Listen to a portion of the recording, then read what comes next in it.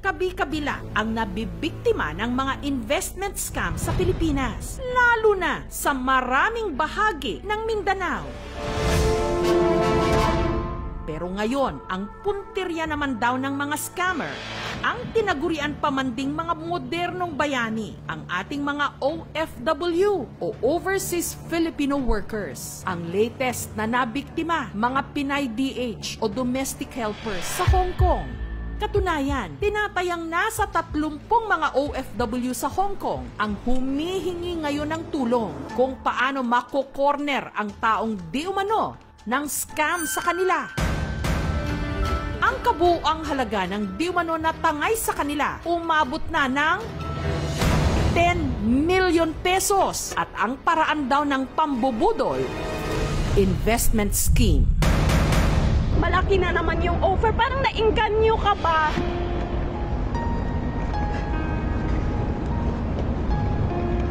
Sobrang hirap po kumita ng pera tapos magiging ganun lang po. ma- Ma-scam lang. Sa akin lang sana, ibalik niya yung pera. Kahit, kahit kunti lang may balik sa akin. At ang masakit pa rito, di umano, ang nanloko sa kanila sa ibang bayan, kababayan din natin, kapwa Pilipino. yun, May. So, very, very happy kaayon. And shout out kayo ko sa akong mga members na naadiriya karon. Ano nga ba ang modus ng ganitong investment scam? Sa ating mga kababayan, saan mang panig ng mundo, manood po kayo para hindi maging biktima.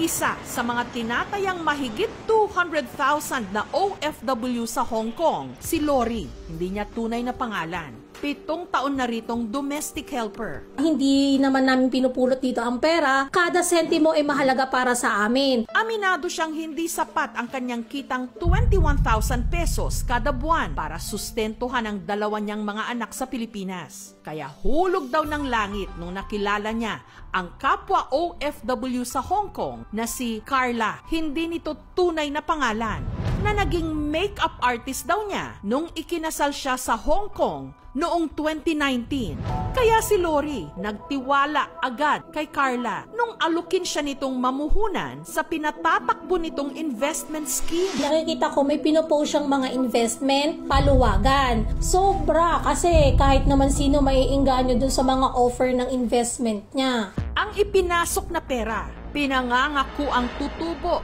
ng 15 to 50% sa loob lang ng 35 days. Kaya si Lori agad nag-invest ng 5,000 pesos na sa loob lang daw ng isang buwan naging 6,000 pesos. 20% agad ang tubo. 2022, bago ko umuwi ng Pilipinas, nag-invest ako sa kanya ng 100,000 kasi magiging 200,000 siya within 4 months. So every month, magpe-payout ka ng 50,000. Dahil na rin sa makinita ng kanyang investment, napaayos daw ni Lori ang bahay nila sa Pilipinas. Makailang ulit pa raw siyang nakauwi sa kanilang probinsya ng Quezon Province. Hanggang si Lori, hindi na lang naging investor, na engganyo na ring maging agent ni Carla para maghanap ng iba pang mamumuhunan sa kanilang investment. Marami na rin nagsasabi sa akin, sa una lang yan. So hindi ako naniwala sa kanila kasi talagang kumikita talaga ako sa investment. Ang dami ko na naging payout. Parang nakuha na yung tiwala ko Pero makalipas ang isang taon ng swabe raw nilang transaksyon, ang sinimulan ni Carla na negosyo, nagsimula na raw mabulilyaso. Bali, nagkakaproblema na pala by January 2023. Ang huling payout ko sa kanya is February 3rd week. Hanggang si Carla, naglaho na lang na parang bula. Bit-bit ang kabuuang hinulog ni Lori na umabot na ng halos isang milyong piso. Feeling ko, naiwan kami sa ere, lahat kami. Kumaga parang nasa heaven kami nung nagpe-payout kami ng maayos, tapos biglang nawala siya. Ang Ponzi scheme ay isang investment fraud na nangangako ng mataas na return sa mga tao na walang risk. Ang focus ng scheme na to is to attract more people, more investors, dahil doon nila kukunin yung mga pinangakong return no sa mga naunang investor. Saka na lang nalaman ni Lori na hindi lang pala siya ang nabiktima ni Carla. Pati na ang nasa mahigit 30 pang mga kapwa niya Pinay DH sa Hong Kong. Ang tatlong dekada ng OFW sa Hong Kong na si Lita, hindi rin niya tunay na pangalan, ininvest pa raw kay Carla ang pinagbentahan niya ng lupa sa Pilipinas na ang halaga umabot ng 800,000 pesos. Pinangakuan daw kasi siya nitong tutubo ang kanyang pera ng 20% sa loob lang ng isang buwan. May kaibigan kami na ipinakilala niya yan sa akin last year. Tita ang tawag nila sa akin. Nirefer niya sa akin kung gusto kong mag-invest. Sakto raw sana ang nasa 5 million pesos na nakatakda niyang kubrahin matapos ang halos isang taon para makapagretiro na at magnegosyo sa Pilipinas. Pero nung kukunin na raw sana ni Lita nitong Enero ang pera o ang kanyang investment, nag-iba na raw ang paraan ng pakikitungo sa kanya ni Carla. Kaya nung December, hinuhold na nila yung pera ko. So, nagtiwala pa rin ako. Nahiya ako sa pamilya ko. Wala nang mangyayari dahil ni Singkong Tuleng, iniwan niya kami sa ere na wala ng pera. Anong may iuwi namin? Kahit kunti lang may balik sa akin, okay lang. Basta meron lang ako mapag-umpisahan sa Pilipinas. Walang kamalay-malay ang mga OFW sa Hong Kong na bago pa man sila napapayag ni Carla na mag-invest, nauna na pala itong nang engganyo ng investors sa mismong probinsya niya sa Pilipinas, sa Kidapawan City sa North Cotabato, sa Mindanao. naman yun, Di. So, very, very happy kaayon. And shout out kayo sa akong mga members na naadiriya karon. Isa sa mga napaniwala nito, si Nelvin, na dati raw hairdresser ni Carla sa kanyang salon. Nung una, duda na raw talaga si Nelvin sa investment scheme nito. Talagang hindi pa ako na-convince talaga na maglagay. Kasi na-scam naman kami dito ng ilang beses na Pero kalaunan, unti-unti raw siyang nakumbinse. Lalo't sa salon din daw nila nagaganap ang payout. Yung umpisa talaga na sinali ko sa kanya is yung 20,000 niya magiging 26,000 good for 35 days. Dahil may nakukuha na ngang pera si Nelvin noon, nagbenta pa siya ng mga kambing at ininvest na rin pati ang kanyang ipon sa pagsasalon. Ang naipasok nga raw ni Nelvin na pera kay Carla, umabot na ng halos kalahating milyong piso. Malaking tulong kasi nagpaplano kami ng asawa ko na malagay sa bangko para sa ano ng mga anak namin, yung educational plan. Ang malaking tanong ngayon, nasaan na si Carla? Pinupost kasi na yung bahay na pinapagawa niya, nakabili siya ng sarili sasakyan. Sa ngayon, ay report na siya sa pulis dito sa Hong Kong kasi ang sabi is nasa Pilipinas na raw.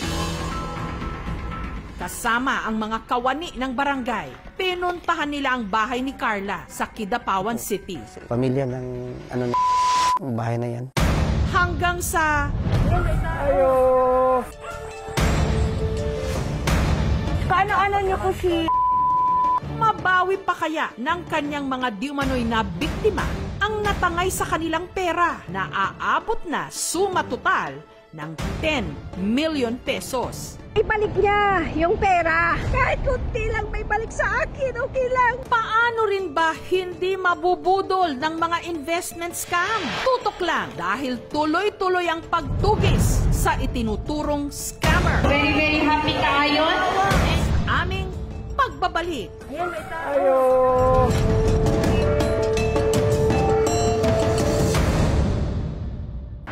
OFW sa Hong Kong. Pinaghahanap ngayon ng mga kapwa niya OFW matapos di manong itakbo nito ang kanilang pera na umabot na ng mahigit 10 million pesos. Sobrang hirap po kumita ng pera tapos ma-scam lang. Kahit kunti lang may balik sa akin, okay lang. Pinupost kasi yung bahay na pinapagawa niya, nakabili siya ng sarili sasakyan. Ang sabi is nasa Pilipinas na raw si naman yun, Di.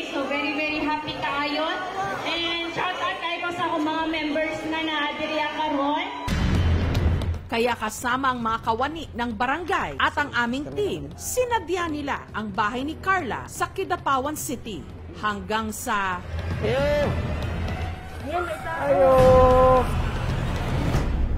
humarap ang tiyahin daw nito na si Lalang.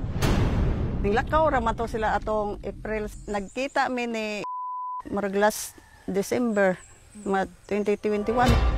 May nakapagturo sa isa raw sa mga agent ni Carla. Si Manilyn. Nasa 16 yata kami, ma'am. Stricto siya, ma'am, pagdating as admin. Bawal magtanong. Kasi roles niya daw yun. Pero paglilinaw ni Manilyn, biktima lang din daw siya ni Carla. Katunayan, ayon sa kanya, sayang na sayang daw dahil natangayan din daw siya ni Carla ng kalahating milyong piso. Ah, nagkakilala kami kasi siya yung girlfriend ng pamangkin namin. Pati yung papa namin, yung biyanan ko, ma'am. Yung sa prenda niya sa lupa, nilagay niya din doon. Kaya nga naawa kami kasi, ah, baga mga senior citizen na po. Nawala pa yung pinaghirapan niya. Nasa 800,000 po. Wala na raw silang balita tungkol kay Carla. Deactivate siya sa mga account niya. At dahil silang mga agent daw ang nakapronta sa investors, sila pa raw ang abonado sa mga ito. Ang masaklap pa rito, pati raw si Manilyn, nakatatanggap ngayon ng pagbabanta sa kanyang buhay. Umabot man sa bum trip. Masakit sa amin kasi hindi namin in- iniisip si admin na ibang tao na. Ang pamangkin ni Manilyn na nobyo ni Carla, lumantad para magpaunlak ng panayam. Si Jake, hindi rin niya tunay na pangalan. Siya ang ako ang soon to be wife nta. Pasko pa raw nitong nakaraang taon nung huli niyang nakita ang kanyang nobya. Ang katong nagsulod akong kapital, gibawi o gi-back out ang ilahang kwarta. So wala na ikap ikapi out ako gali kay rabugo sa mga tao. Kabalo man ko daghan na nanay mga detrets pero dili na ko mablame ang ang mga tao. Kung mangarap ta na nga na milyones, ako dili na po siguro ko motrabaho og karog sagingan. Bagamat sinabi raw sa kanya ni Carla na plano nitong umuwi ng Pilipinas, hindi naman daw nito sinabi kung saan ito tutuloy. Sa pagkakaroon wala na jud may direct contact bisan pa man sa iyang pamilya sa katong mga biktima mga radyo sorry kapatid ni Carla nagbigay ng pahayag sa aming programa sa pamagitan ng isang text message. Hopefully this issue will follow in court para legal po ang lahat. We are not guilty in all accusations. As a sister I knew, she has good intentions sa lahat. Hindi lang siya ang nagra-run at nakikipag-transact. Samantala, ang mga biktima ni Carla sa Kidapawan City nagpadala na ng mensahe sa National Bureau of Investigation sa pamagitan ng email para formal nang maghain ng reklamo. Ang kanilang email na ipinadala sa amin ay aming babasahin. Pinaka-importanting ma-establish natin yung ginawang pagbabayad.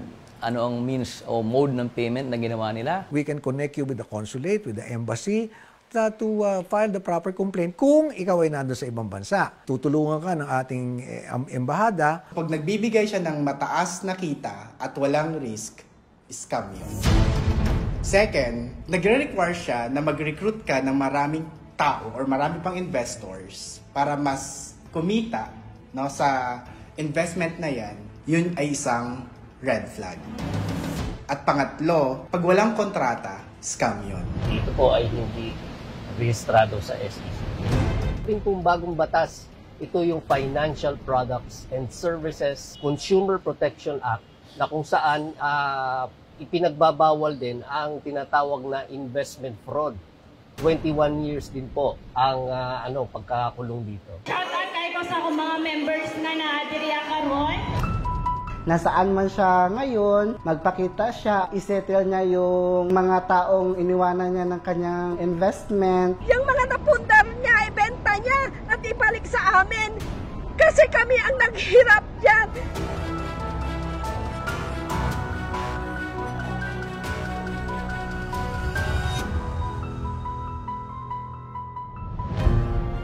Dugo at pawis ang puhunan ng ating mga OFW para kumita ng pera sa ibang bansa. Hindi pa kwentado dyan ang sakripisyo at pangungulila nila sa kanilang mga pamilya.